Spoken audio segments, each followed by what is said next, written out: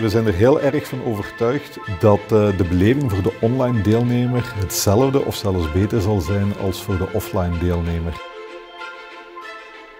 Je hebt iets heel fantastisch als je met een, uh, met een online gebeuren zit, met een hybride gebeuren, en dat is de regie.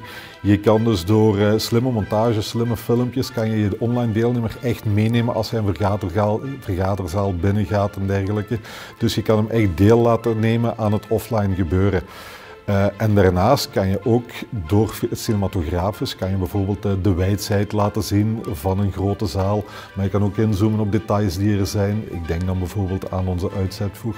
Ik denk bijvoorbeeld ook aan de krekel uh, die in de directeursruimte aanwezig zijn, wat dat eigenlijk toch wel de mascotte is van de Gengse mijnbouw. Waarbij dat je eigenlijk als de online deelnemer nog kan accentueren wat dat de offline deelnemer zelfs misschien niet gaat opvallen. Of wat je moet gaan zeggen, kan je dan online toch wel heel duidelijk in de picture zetten.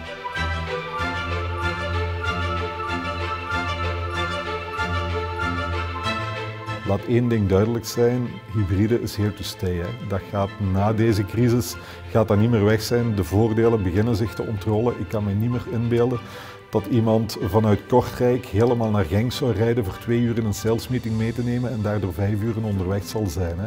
Dus niet alleen naar evenementen, maar ook naar vergaderen zal daar uh, een hele omslag zijn. En dat is niet erg, hè, want mensen hebben contact nodig, maar je hebt ook die voordelen van als, als het op de kool niet waard is, zoals ze zeggen, dat ze, dat ze die hele verplaatsing nog gaan doen. En waarom dan een, uh, een heritage venue en niet gewoon een studio? Ja, als je rondje kijkt naar de beelden, dan krijg je een studio niet, uh, niet nagebootst. En ik denk dat we allemaal uh, de gordijnen van onze collega's die we de laatste tijd heel erg veel gezien hebben, dat die allemaal wat beu zijn en dat dit echt wel een meerwaarde is om dit als uh, venue te kunnen laten zien.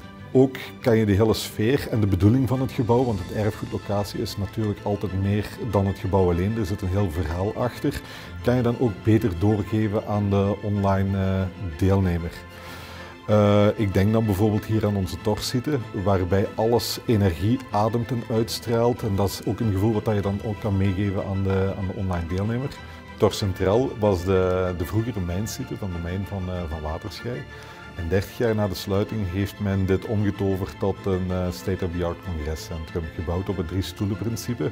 Wat dus eigenlijk wil zeggen, we hebben voor 300 mensen plaats in een plenaire ruimte, dit auditorium waar we nu staan. Maar we hebben ook voor 300 mensen uh, breakout rooms. Dus we hebben een vijftiental vergaderzalen ter beschikking staan.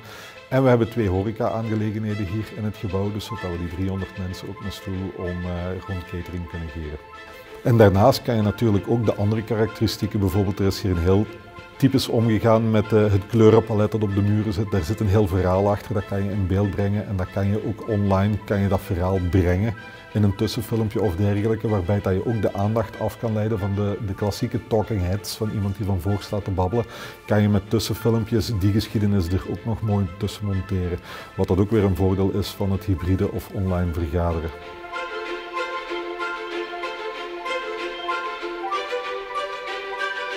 Ik denk waar zit ook een grote upside van het uh, hybride gedeelte is site-to-site.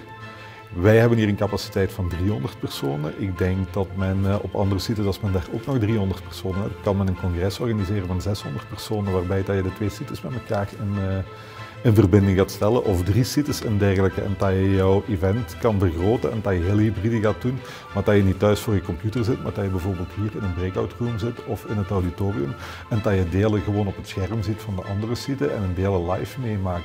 Dus ook daar zitten nog heel veel mogelijkheden om het prachtige erfgoed wat dat we hebben en wat dat vandaag gelukkig ook ingezet wordt in de maisindustrie, dat we die ook nog met elkaar kunnen verbinden en zo de markt aanspreken. En dan krijg je eigenlijk twee voor de prijs van één, want je hebt, de uh, je hebt de sfeer van deze site, maar je kan op hetzelfde moment ook nog de sfeer van de andere site meepakken.